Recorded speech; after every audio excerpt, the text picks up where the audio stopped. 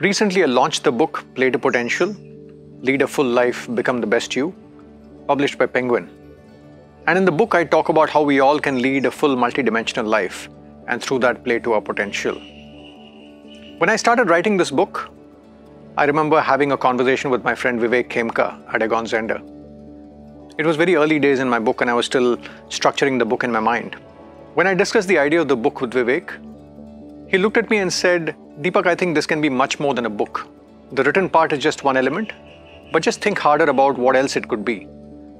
And I think it was a very useful provocation, and in a lot of ways, it's shaped the book and what it's become. In the book, Play to Potential, of course, you'll have the written material, just like any book.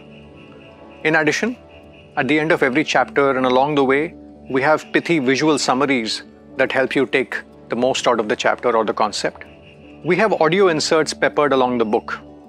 When you want to dive deeper into a particular piece of insight, I would rather you listen to the insight from the source rather than my interpretation of what the person said. So, hopefully, these audio inserts will embellish the insights that I discussed during the book. And finally, I realize playing to full potential is a reasonably vague and nebulous context. And if we keep it theoretical, it can be hard for people to understand. So we've also profiled six different people, three men and three women, who I believe are playing to their full potential. And we have one hour, one and a half hour long video conversations with them, just for you to understand the nuances in their journey and how they've gone about playing to their full potential. My mission is to help you play to your potential and do what it takes to make that possible.